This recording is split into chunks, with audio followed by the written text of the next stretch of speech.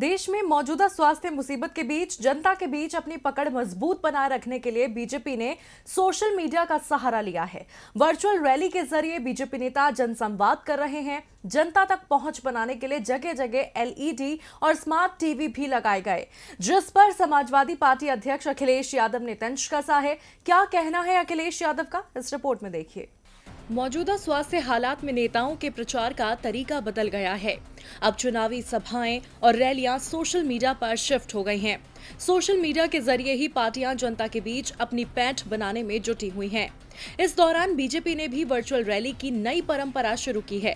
गृह मंत्री अमित शाह ने बिहार से वर्चुअल रैली की शुरुआत की थी और उसके बाद ओडिशा और पश्चिम बंगाल की जनता को भी वर्चुअल रैली के ज़रिए संबोधित किया था। ज़्यादा लोगों तक पहुँच बनाने के लिए बीजेपी ने जगह जगह एलईडी और स्मार्ट टीवी लगवाए हैं, जिसे लेकर अब सियासत शुरू हो गई है। समाजवादी पार्टी अध्यक्ष अखिलेश यादव ने सपा के लैपटॉप वितरण कार्यक्रम की याद दिलाते हुए बीजेपी पर तंज कसा है। अखिलेश यादव ने ट्वीट किया, सपा ने भविष्य की पीढ़ियों को सशक्त करने के लिए उन तक लैपटॉप पहुँचाए, जबकि बीजेपी ने मौजूदा स्वास्थ्य मुसीबत पर जीत हासिल करने की जगह चुनाव जीतने के लिए जंगल तक में एलईडी लगवाए। ऐसा पहली बार नहीं है जब बीजेपी की वर्चुअल रैलियों को लेकर अखिलेश यादव सवाल खड़े कर रहे हों। इससे पहले भी पश्चिम बंगाल में बीजेपी की वर्चुअल रैली को अखिलेश ने खर्चुअल रैली बताया था। ज़ाहिर है, बीजेपी जनता के बीच अपनी छवि सुधारने में कोई कमी नहीं छोड़ना चाहती।